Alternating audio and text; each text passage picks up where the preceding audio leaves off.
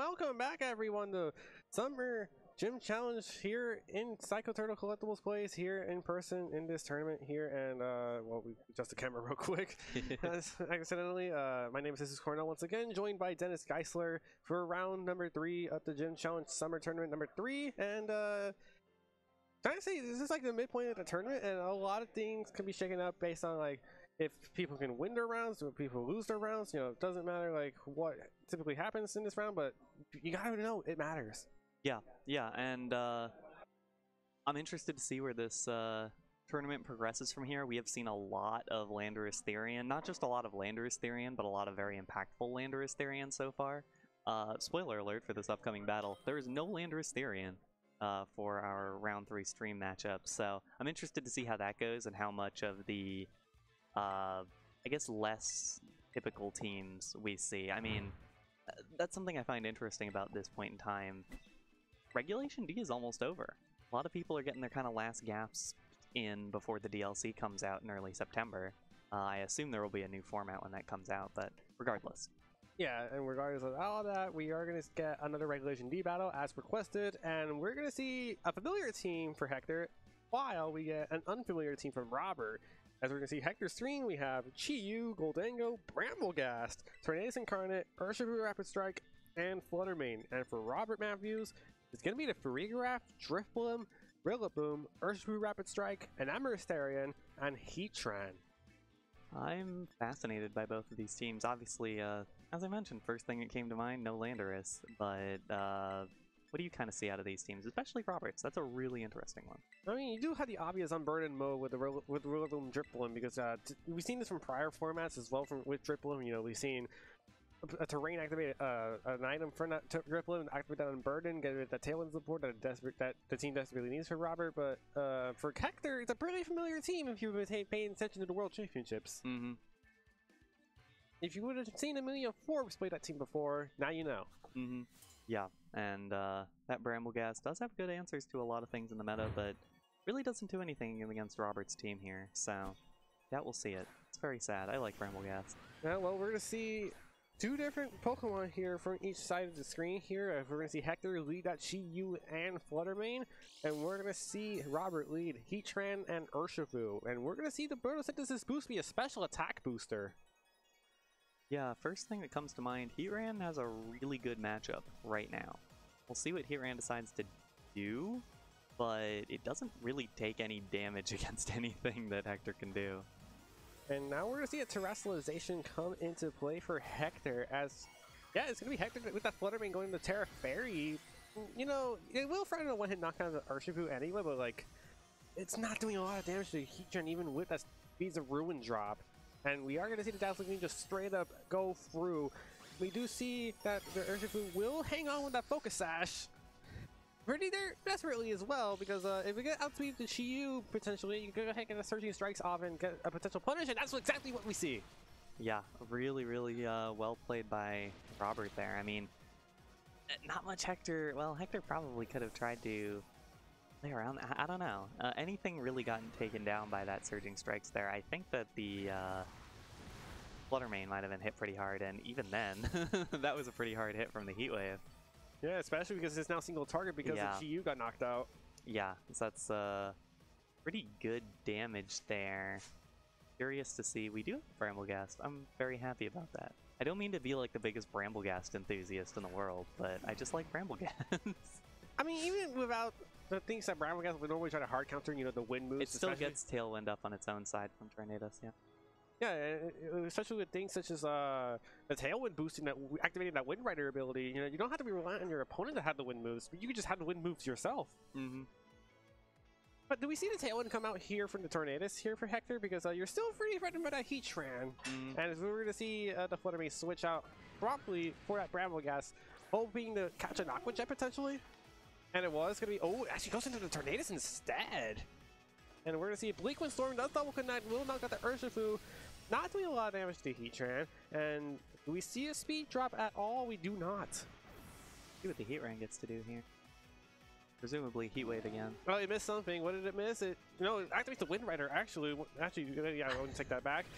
And Heatwave can uh, not do a lot of damage to the Tornadus, but it puts it in range of another one. And Brambleghast got a boost. I, I'll, I'll be totally real. I didn't know that Heatwave procced Wind Rider. That's a new one for me. Mhm. Turns out people are pretty forgetful sometimes. And Yeah. People can get fooled because Heatwave's not a wind move on the name, but it is a wind move yeah, in the it does, category. it does look windy enough. Uh, Well, speaking of windy, we do see a, a windy Enamorus Therian come into play for Robert. Uh, Enamorus is typically a Pokemon you typically never see in the metagame, but uh, if well positioned correctly, it could do a lot of damage. Yeah, absolutely. I, I, I just wonder here what uh, Hector will do is Brambleghast has the, I guess, priority in terms of doing any damage here. Both of Robert's Pokemon are on the slower side, but also have a lot of pack a pretty large punch. I mean, we'll see what punch comes in here. Tailwind is going to go ahead and give Hector a necessary speed boost that he needs, but also get that Brambleghast attack up to two, to two stages. As Power Whip misses its target, it went for the Heatran. And Heatran just goes for the Earth Power onto the Brambleghast, knowing that it cannot touch it with Heat Wave. And the Dazzling Gleam comes out from the Enamorus Therian, knocks out the Tornadus, but Brambleghast hangs on with 2 HP.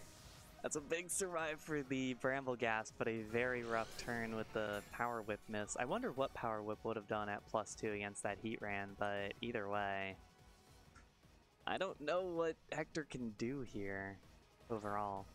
Yeah, I really don't know what it could do right now because uh, it would have been a double resisted move because it was hitting to a fire and steel type with that Heatran would have been double resisted. I mean, yeah, you're plus two, but you're probably not doing enough damage. And Enamorus, if it survives the turn, I think wins the game for Robert. We are seeing uh, Terastallization, and I believe this will be an Enamorus to steal, and it is. Yeah, and I don't know what either of Hector's Pokemon can do against an Enamorus Steel here. You, you do see the axe come in for that Enamorus, and we're going to see the Shadow Ball go into the Heatran. Yeah, not doing a lot of damage now it doesn't have its booster energy proc. Ooh, that's actually not bad damage from that Power Whip, actually, into a double resist. Earth Power into the Brambleghast from that Heatran is enough for the knockout because of how much damage it took earlier. What did the Enamorus do here? It is just going to go for another Dazzling Gleam, and it is enough for a knockout basically because it was a single target move, and Robert quickly wins game one over Hector. Yeah, and that was, uh, I don't know, it felt like a, a couple of unfortunate moments for Hector and Robert just having Heatran, which honestly, I don't know that any of the Pokemon that uh, Hector had on the field really answered uh, Heatran at all. Like, I, I don't know that any of them had real threatening damage on Heatran at any point. I mean, I mean, we do see on Hector's team, he does have a couple answers to Ur- to uh, Heatran. You know, Mhm. obviously he has the Urshifu, which he didn't bring, but Yeah. also maybe he could have held on to the Terastallization for that Brambleghast because uh, you would probably hold on for that Shadow Sneak. Yeah. Uh, Shadow Sneak's not doing a lot of damage, but maybe Tera Blast Ghost with that plus two boost would have probably knocked it out. even at plus two, Shadow Sneak would have been a little better. Um, potentially, Chi-Yu's Dark Pulse could have done a little bit more um, if it was able to get through turn one, which it obviously was not after that first Surging Strikes, and maybe that was the only thing that could really consistently get rid of the Heatran. But I feel like that's the biggest thing that uh, Hector really has to try to deal with going into game two. Yeah, it's like so many things that went wrong for Hector. It's just started with that Urshifu outspeeding that Chi-Yu, but now I'm curious if it. I mean, we do see the choose Tera Ghost here for Hector, as we did see from the screen and mm-hmm. from the team sheets, but would it even survive a Surging Strikes from that Urshifu? My answer is probably not. I don't think it would. I mean, its physical defense is not really good. strong. Yeah, but you also have to realize this Urshifu is not holding a Mystic Water, so we saw it hurt as the Focus Sash that is earlier. true. It is Focus Sash, so it is a little bit lower damage. I mean, it is lower damage. Probably has to go with a Jolly. Probably a, a boosting nature to boost his speed more likely, but instead, oh, we're going to see not going to see the Heatran lead. We're going to see Farigiraf Urshifu for Robert, and Hector present his own Urshifu, but with a Tornadus. So uh, already mind games with the speed control for both sides. Yeah, absolutely. That'll be an interesting one. Which one decides to do that? Also have to remember that Armor Tail ability from Farigiraf. Uh, we already seeing Hector hover over that Terastallization. He does confirm it. Wait, is that Robert's going? Is that Robert's Terastallization going first, or is that Hector's? It's an, it's an Urshifu, but okay, it looks like, this looks like it's Hector's. I mean, both these Urshifu are both Tera Water, so we really cannot yeah, tell who's the one it terastallizing. either in the moment. Because we saw Hector do it. Okay, is Hector's Robert terastallizes as well. Is this the Farigiraf for water or is this Urshifu? It's the Farigiraf! that's very good. Lead the surging strikes well. And we did see the Tornadus not click Tailwind and went for the Bleak Windstorm, so I mean you are confident you can live an attack because of the focus sash here. Or if it misses Urshifu outright, which it does. Oh, that's brutal. That's a brutal miss. The speed drop does go into the Farigiraf, so if it went for the Trick Room, it would be pretty good right now. Surging Strikes goes into the Tornadus. It's not going to be doing enough for a knockout, but it will be in good range of an Aqua Jet later, or potentially that Psychic. Mm. And here we go. Surging Strikes comes out from Hector's Terastallized version. Oh, it went into the Terastallization. Oh, that's a regress. so it's going to be a resisted hit. Farigiraf will get to make an attack this turn, but did it go for the Psychic into Hector's uh, Tornadus or Urshifu, or did it go for Trick Room? Yeah, that'll be the big question here. What move it decides to go for? Okay. Well, it will certainly be happy that Tornadus lowered its speed right now because of that Bleak Windstorm from earlier. So Farigiraf now, the fastest Pokemon in the field, but Psychic probably not enough to knock out Urshifu. Yeah, and uh, a, a big question is is Robert's Urshifu faster than Hector's Urshifu? It moved first in the previous turn. Guess Yeah. it doesn't matter. I mean, again, Aqua Jet just does priority for you, so Tornado's not going to get an opportunity to go for another Bleak Windstorm. Psychic does go into the Urshifu, no longer weak to, to Psychic anymore, but still does a lot of damage. As we see Urshifu go for the Surging Strikes, and I think he, yeah, he's going to take the knockout for the Farigiraf. Yeah, solid set of uh, moves there for either side, able to get rid of the uh, Urshifu supporter on either end. I guess the question now is what do each of them go into still under these Trick Room settings? It's going to be impossible, I believe, for Trick Room to disappear. Oh my goodness, Hector has two fast Pokemon here, but Robert does have a Rillaboom, so there's that going for him. And so, okay, so it's gonna be Fluttermane coming in. So Fluttermane probably gonna be the fastest thing in play, so we'll be moving last. Does that warrant the Chi-Yu going to switch in for that Fluttermane?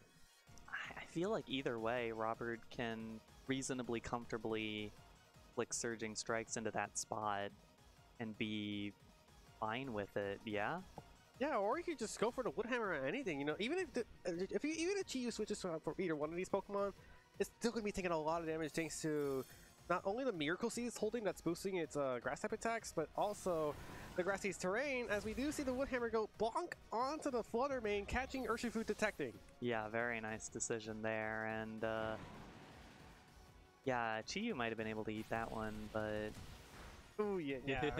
this is the problem with detecting because you were trying to figure out if you were gonna get hit by the Urshifu, but instead you got hit by a Woodhammer instead. Yeah, uh, very well read by Robert. Picking no, there's not going to be a switch. Yes, Hector's going to try to protect that uh, Urshifu, and I think that's probably well. Chi-Yu is uh, faster than Urshifu under this situation, No, we're. oh, but Hector doesn't want to continue. yeah, no, he's just gonna forfeit straight up. Unfortunately, the battle goes south quickly for Hector, and that is a swift 2-0 for Robert. Just showing you how broken, how powerful Urshifu is under the right circumstances. Yeah, that uh, unseen fist is always ridiculously good. That surging strike's always ridiculously good, and uh, we saw both of those in full effect in that game. Yeah, and also it was really interesting read that uh, Hector didn't think he would bring a Brambleghast in because uh, it would have been probably not that great in that matchup because he didn't bring that Heatran, or if he did, Mhm. we, just, we just never saw it. That's like how dominant that Farigiraf was with that Trick Room. yeah, absolutely. It just uh, maintained so much control with that trick room and always uh, played well around the speed. That's always the difficult thing about speed control is having a Pokemon that's faster outside of trick room and slower inside of trick room, or moves first regardless. And that was very well done with the Urshifu there, getting the Aqua Jet off onto the Tornadus, able to get the Tornadus out of mm. there and keep kind of moving forward on all of that.